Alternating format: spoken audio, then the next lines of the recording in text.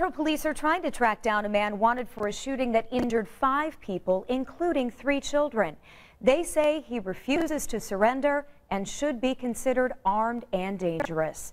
24-year-old Dominique Stone is wanted on several warrants, but investigators say they received a tip that Stone wants to, quote, chill this weekend and will not turn himself in until next week. Now, the shooting happened last Sunday in an apartment near 59th in Georgetown. Someone used a high-powered assault rifle to shoot two women and three young boys. Police are still trying to identify two other suspects. One of them was seen leaving the scene in a 2002 silver Ford Focus that had been stolen during a carjacking. That has an Indiana license plate WOJ 856.